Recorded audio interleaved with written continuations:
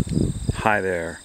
I have just recently become aware of this whole genre of YouTube video called the potato reveal video in which people harvest their potatoes on camera. But anyway, I became fascinated by this genre just because I've been binge watching Torp Tomaten's channel and her potato reveal videos are fascinating because not only is she harvesting you know her potatoes and seeing how much yield she got she's also harvesting specifically a lot of the time TPS seedlings. And so she's not just revealing the yield she's revealing that variety for the first time. So I have a bunch of harvestable TPS seedlings in this row here. And so I thought I would do my first potato reveal video. Now this row of seedlings if you look at the the stake it says OBF Sarpo Mira Mix 17 so this is bulk seed that I collected from open pollinated seed berries from the TPS seedling lot that I grew out last year of Sarpo Mira Mix which was a mix of seed that was Sarpo Mira as a mother plant crossed with bulk pollen from my friend Nathan who is a fellow potato enthusiast. Um, I don't know if I see a Colorado potato beetle, which I really haven't had much trouble with them. And there is a great deal of variability, like I was talking in a previous video about TPS. There's a great deal of variability in here as to maturity. So you can see this plant here is still fairly green and has a potato exposed and then here right next to it, we see a potato that has completely dried down. So, so those are the ones I'm going to be revealing and we'll be leaving these guys for later in the season. So, okay, so it's not as easy to set up the shot as it is with the container potatoes, but we'll see what we can do. All right, here we go.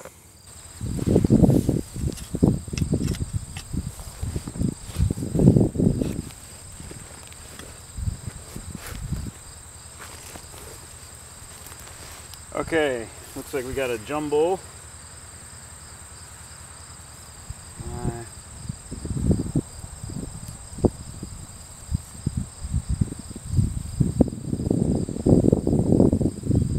So this red potato belongs with this seedling here. See the stolon? Very long stolons. I'm looking at this is the potato in question, I believe.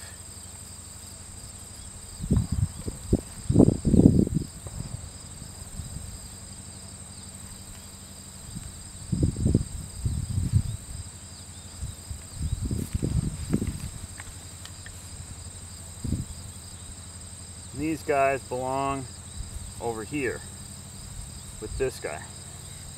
So I'm going to try. So that early seedling, not a lot of yield. Early seedling, not a lot of yield. These other two, you know, are still growing strong.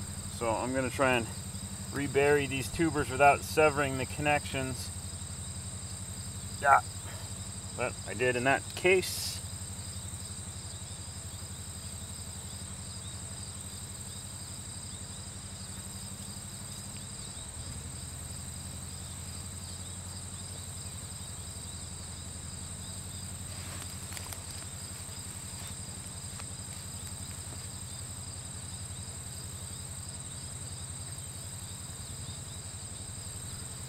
There you go.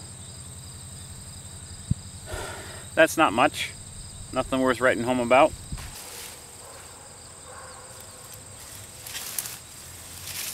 This one looks like it was at one time a bigger plant. So we might get a little bit better. There's a there's something. I was saying in the other video, the TPS, what to expect from TPS seedling video, it had been really wet. And then on Monday this week, Hurricane Florence came through, the remnants of Hurricane Florence, and gave us another four and a quarter inches. Had a bunch of flash flooding. It's interesting. So these guys are interesting. Are they? That's a different potato.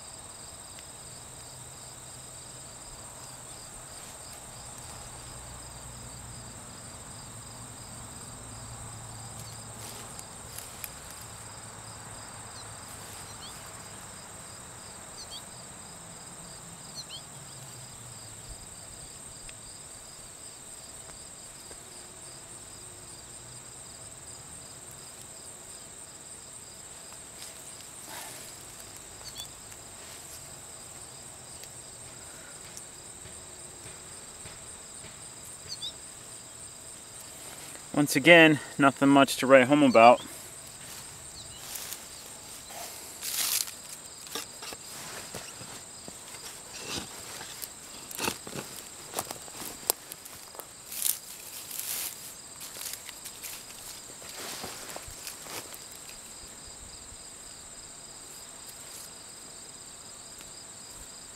So these, I think you can see, have kind of a I get this, I'm getting this phenotype a lot from these guys. They're kind of like buff skinned.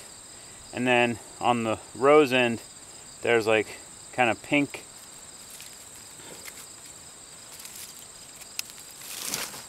with splotches around the eyes.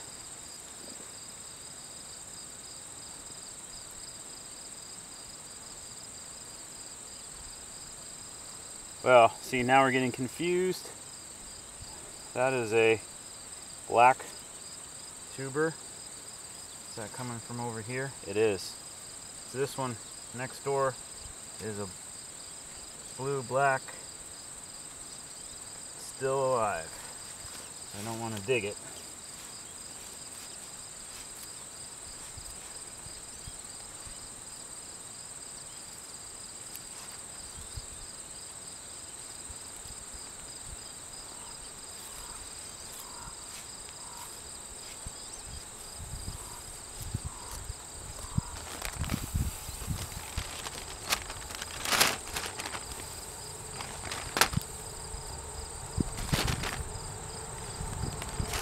So you're seeing nothing much yet has had much in the way of yield. That's yield is all over the place with TPS seedlings. That's just the way it is. So based on kind of my spacing pattern there probably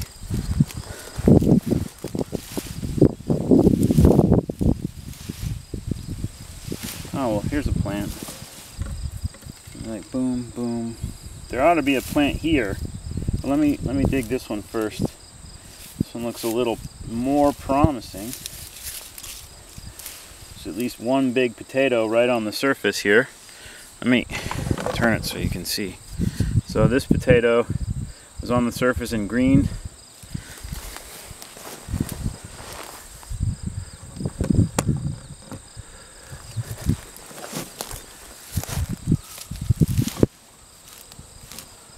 Not attacked by voles.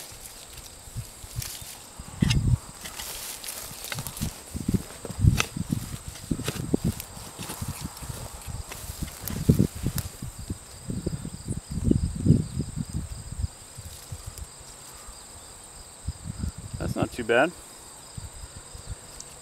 That's better we've had so far. And these look more like a Sarpo Mira, I think, at least in terms of the skin color. Here's another potato, white skinned, that I'm gonna try and not dig.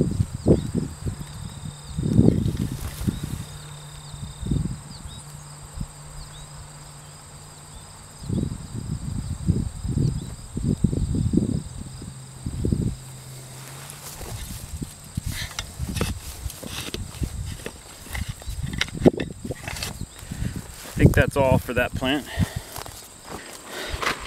So right next to there, there ought to be a, there ought to have been a plant. I can't even see the remnants of a, a plant, but let me just give it a quick dig. There might be a microtuber or whatever, and then the plant just failed to thrive, which happens a lot with, okay, so there's something.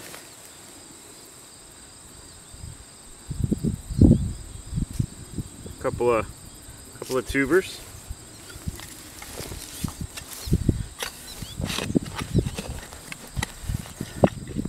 So is that going to be plant number five? Because there's also a plant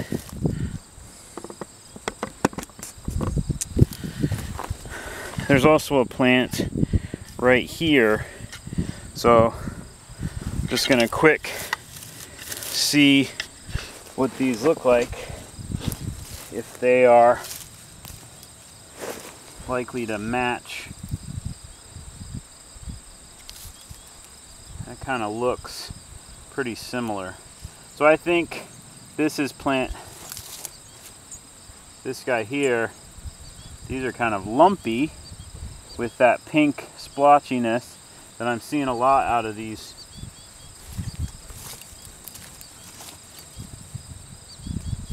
See, there's kind of a really, a lot of times the smaller tubers have a more, on this phenotype, you know, you see kind of like the white or the, the no color around the eye with the buff underskin and then the pink surrounding it on the rose end.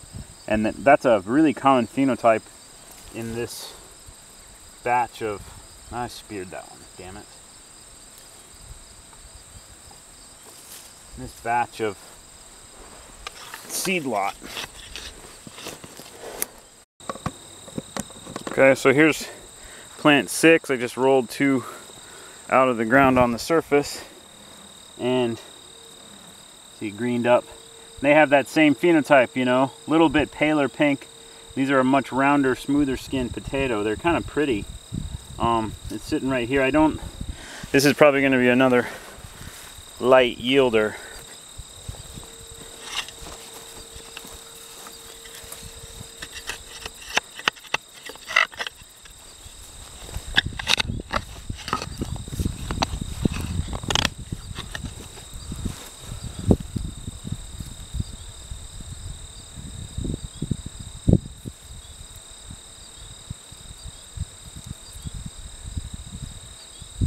I think these guys,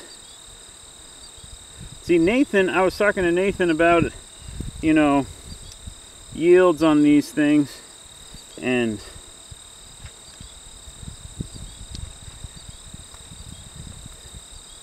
um, growing them and uh,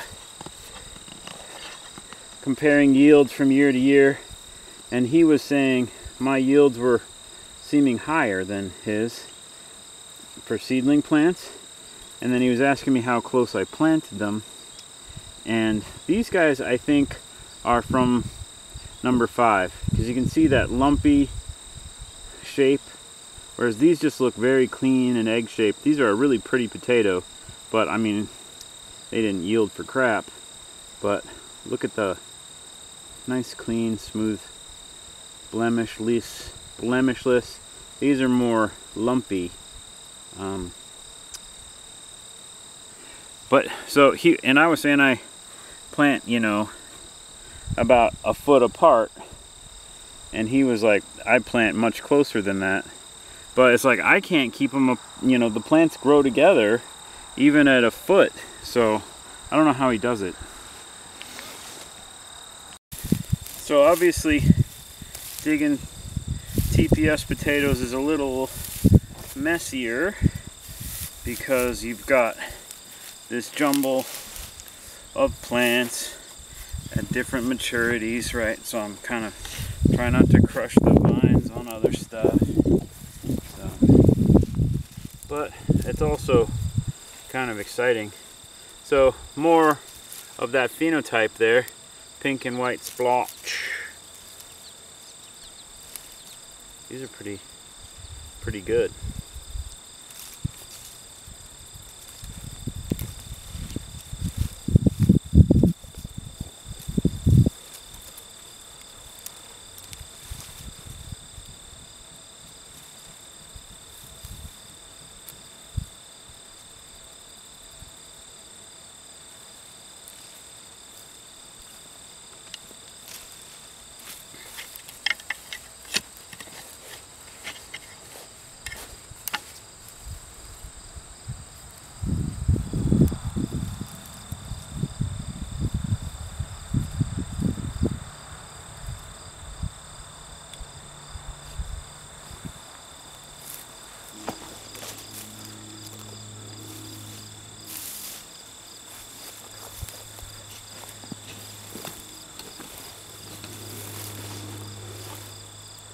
Pink and white splotch.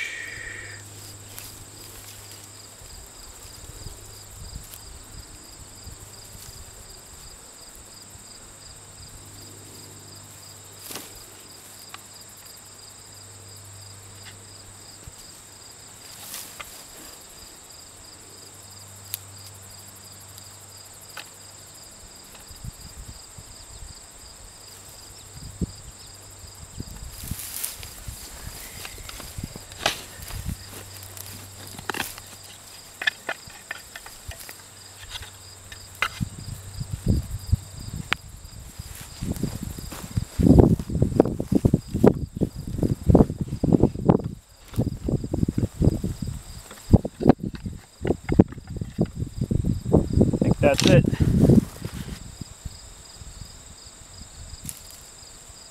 Okay, so here we have unruliness because this is a live branch of probably this plant here with this magenta tuber and I'm trying to dig up this guy here who is clearly going to be one of these pink and white splotches so I'm going to probably end up digging some of these really attractive bright magenta tubers from this guy over here. So I'll just probably bury those for right now. Um, look that's called chain tuberization right there. See how this is a stole this is a long stolon that came out of the ground and then there's a stolon there side tuber then there's a tuber right on the thing and then the stolon keeps going, it's going to produce another tuber there. Not a common behavior in modern potatoes, but very common in, you know, very common in the stuff that I grow. So, so see, we got this whole jumbled mix of pink potatoes and the potatoes from the seed that I'm trying to harvest here.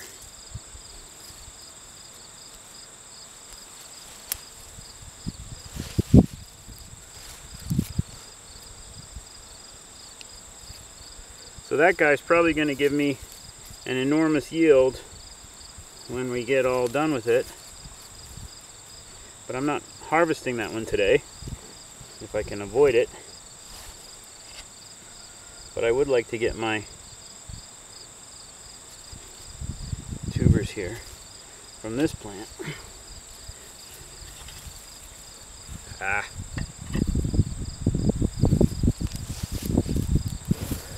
So, if this kind of chaos doesn't appeal to you, then probably you should grow your TPS seedlings in containers like Torp does because you'll have much more control over where they end up and how they so I'm just gonna fudge all these guys back into the ground. You can see I just this is tubers from an addition you know from way over here not even underneath the uh, the plant per se. So I'm just gonna rebury all those guys. Hopefully They'll be fine. Oops.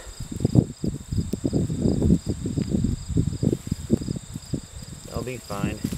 We'll dig them up later when this plant dies down some. Still busy setting tubers. So here's these guys. More pink splotchy, low yield.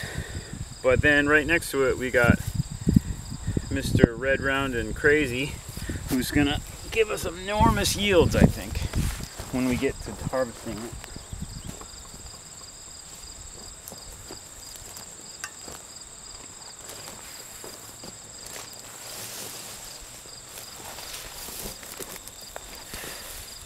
I just stepped on a potato berry.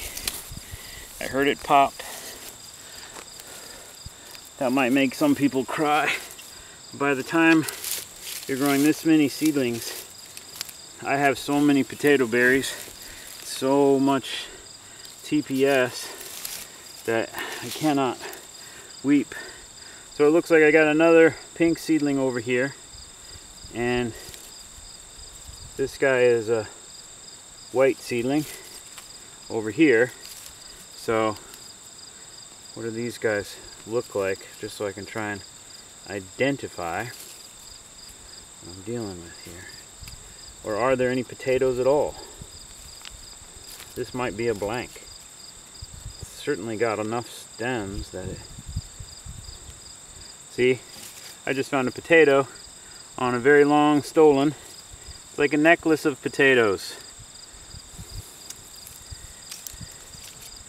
So, still more. This is another one of those crazies. I don't think Sarpo does this, even though, I mean, I've never grown Sarpo. I don't even know how Nathan got his hands on it. Okay, here's one. Pink splotchy, of course. Pink splotchy seems to be equivalent with early low yielding. That one I harvested first pretty much blew these out of the water.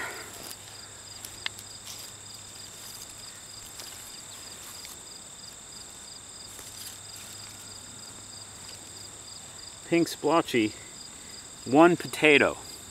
Pink splotchy, one potato. So that's not even going to justify its own bag. I'm not even going to try. That one just gets to go uh, feed somebody out in the pasture. It's not even worth putting one tiny.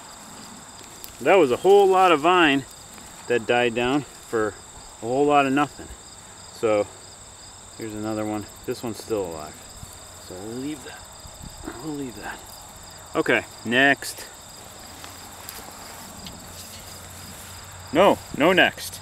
That's it. That is it.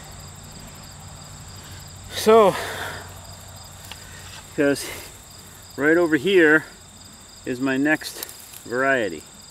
Um, so we will be harvesting no more Sarpo Mira mixes.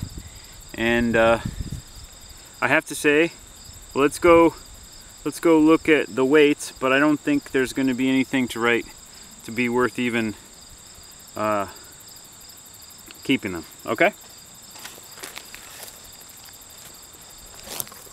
Okay.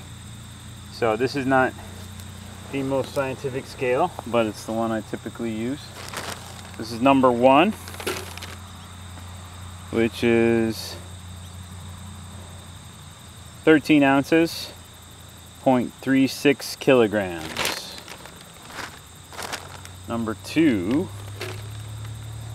is almost six and a half ounces, 0.17 kilograms. Number three, which is 11 and a half ounces, 0.33 kilograms. Number four is one pound, two and a half ounces, which is uh, 0.52 kilograms. Number five. This is probably the, the heaviest one. Number five is two pounds. Number five is two pounds, one ounce. And that is 0.94 kilograms. So this one was, yeah, this one was that really splotchy, lumpy one. Um, so we'll wash this up and take a look at it. But yeah, splotchy, lumpy, bumpy.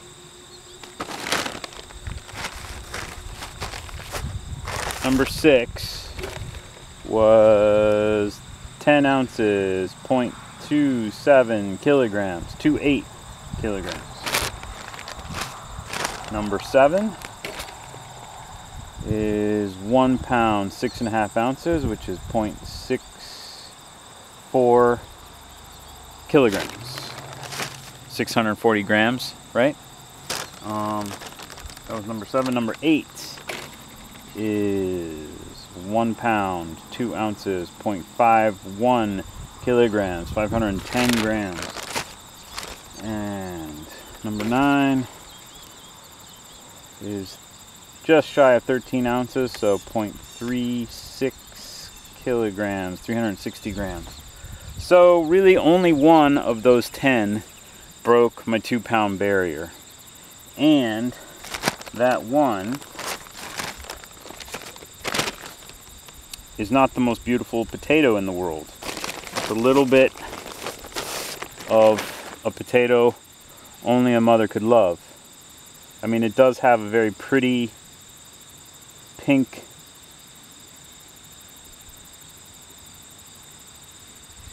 look to it.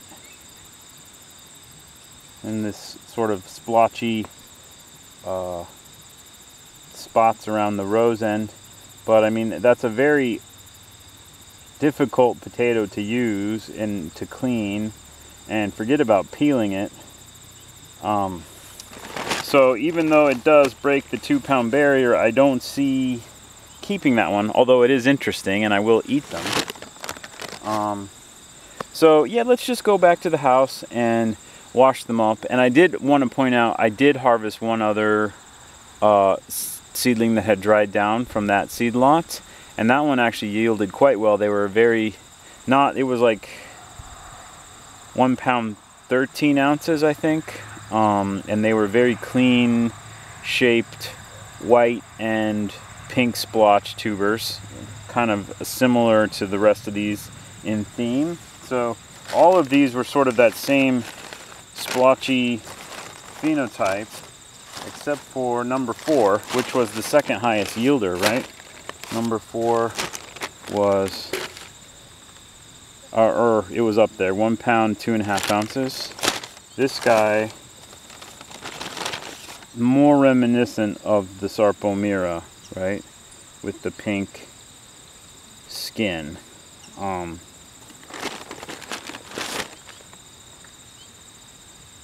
that looks a lot like Sarpo Mira color, I think. Alright, let's go clean a couple of these up, take a picture.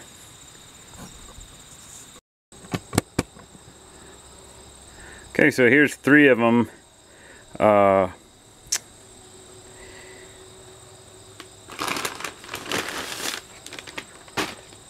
Here's three of them washed up. This one was the number five, which was the high yielding uh, variety of the ones we harvested today, two pounds something. This was number four, which was the only pink one of the ones that we actually harvested. And then, then this one was number seven. So you can see a little better the pink and splotchy nature where it uh, has the clarity around the eyes. And then this one has just kind of got a pink banding around it. So that phenotype was showing up over and over again in these ones we harvested.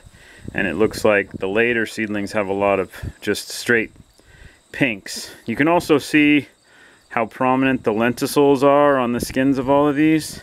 And that has a lot to do with um, how wet it's been. The last like month and a half, almost two months now, it's just been constantly raining. And that that tends to make the lenticels really prominent on the potatoes. So, yeah, so that was uh, my first ever potato reveal video. And I hope folks enjoyed it, and I hope you learned something. Thanks a lot.